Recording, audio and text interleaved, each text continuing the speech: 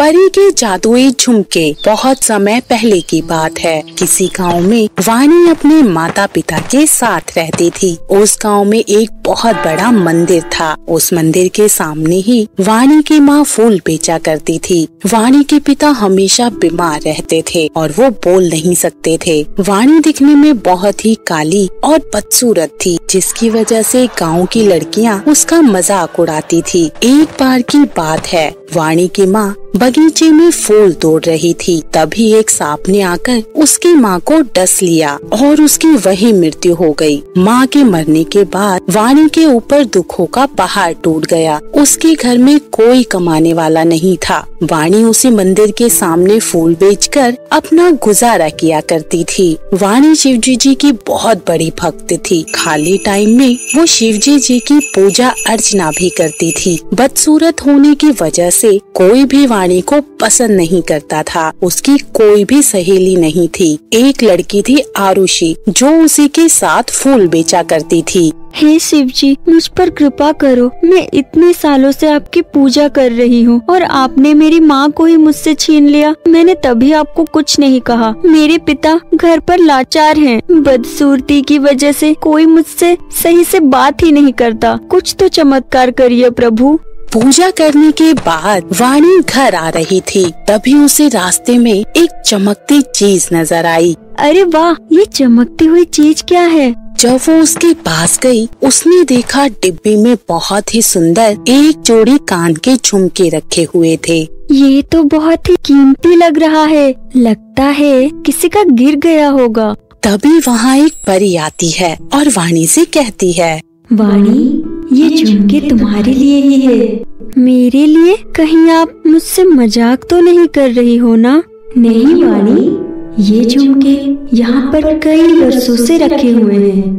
किसी को नज़र नहीं आया। तुम बहुत खुशकिस्मत हो जो तुम्हें ये मिला। ये कोई साधारण झुमके नहीं है। ये एक जादुई झुमके हैं। तुम इसे लेकर अपने घर जाओ। ये तुम्हारा है। धन्यवाद परी।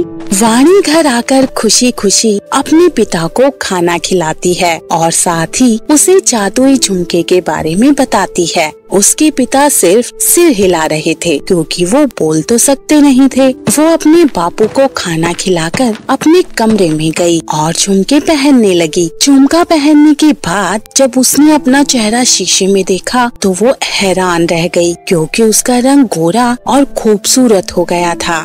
अरे वाह मैं तो बहुत खूबसूरत हो गई वो भागते हुए अपनी सहेली आरुषि के पास गई। अरे बानी तुम इतनी सुंदर कैसे हो गई?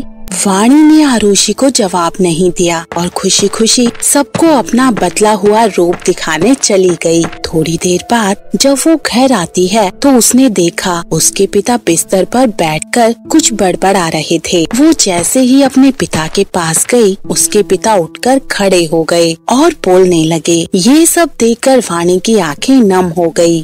बेटी, रो मत। अब मैं एकदम ठीक हो गया हूँ। अब मैं चल फिर और बोल भी सकता हूँ। वाणी अपने पिता को झुमके के बारे में बताती है। पिताजी आप भी कल से मेरे साथ फूल बेचने चलो ना। सब आपको देखकर हैरान रह जाएँगे। अगले दिन जब दोनों सो के उठते हैं तो वो हैरान रह गए क्योंकि उनकी टूटी फूटी झोपड़ी एक बहुत ही सुंदर बिल्डिंग में बदल गई थी। घर के चारों तरफ़ फर्नीचर और कीमती सामान रखे हुए थे। पिताजी आप ये सब देख रहे हो ना? ये सब जादुई झुमके का कमाल है।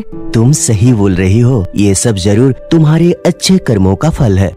अब उनके पास सब था। उन्हें फूल बेचने की ज़रूरत नहीं थी। उनके घर गाड़ी नौकर चाकर सारी चीज़ें थी। वानी अपने पिता से बोलती है पिताजी तैयार हो जाइए। मंदिर चलते हैं। भोलेनाथ को धन्यवाद करके आते हैं। तभी उसकी सहेली आरुषि वाणी को फूल बेचने के लिए बुलाने आती है। उसकी टूटी फूटी झोपड़ी की जगह एक बहुत बड़ी बिल्डिंग देखकर आरुषि हैरान रह जाती है और फिर वहीं से वापस चली जाती है। वाणी जब अपने पिता के साथ मंदिर में दर्शन करने पहुँची तो वो सब उसे देखकर हैरान हो गए। वो मंदिर जाकर भगवान की प्रार्थना करके भगवान का धन्यवाद करने लगती है। गरीबों को खाना बांटा और और कपड़े दिए। तभी आरुषि वहाँ आई और बोली वाणी मुझे बताओ कैसे हुआ ये सब? तुम्हारे हाथ? बहुत बड़ा खजाना लगा है क्या? वाणी ने हँसते हुए कहा सब ईश्वर की कृपा है। आरुषि के कान में झुमके देखकर आग बबूला हो जाती है और उसे ईर्ष्या करने लगती है। आखिर इस गरीब के पास क्या आ गया है जो ये इतनी अमीर हो गई? आरुषि छुपकर पता लगा ही लेती है कि ये सब उसके कानों के झुमके का कमाल है। मुझे कुछ तो करना ही पड़ेगा। और वो अगली सुबह वाणी के घर आई और उसे बोली अरे वाणी तुम्हारे कान के झुमके तो बहुत अच्छे लग रहे हैं। मुझे दे दो कल मुझे शादी में जाना है। मैं तुम्हें लौटा दूँगी। वाणी आरुषि के इस तरह से बोलने पर उसे मना नहीं कर पाई और उसे कानों के झुमके उतार कर दे देती है। झुमका जैसे ही आरुषि के हाथ में आता है वो पीतल का हो जाता है। ये क्या किया तुमने आरुषि? आरुषि ज़ोर से हँसते हुए भाग गई। तभी वाणी के गार्ड ने आकर कहा आपकी सहेली भागती हुई जा रही थी तभी उसका पैर फिसल गया और गिर गई। उसके सर से काफ़ी खून निकल रहा है।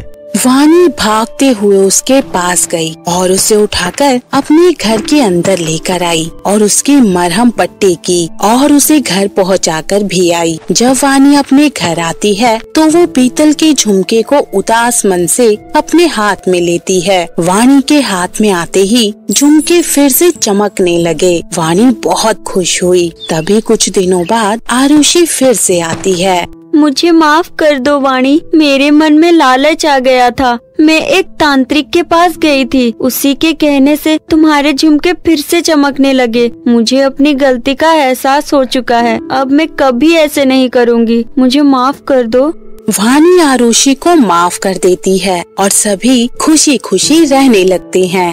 तो कैसी लगी ये कहानी? हमारी कहानी को लाइक करें और कमेंट करके ज़रूर बताएँ। और ऐसी ही मज़ेदार कहानी देखने के लिए चैनल को सब्सक्राइब करें। और हाँ बेल आइकन दबाना ना भूलें, जिससे आपको आगे आने वाली कहानियों की नोटिफिकेशन आसानी से मिल सके।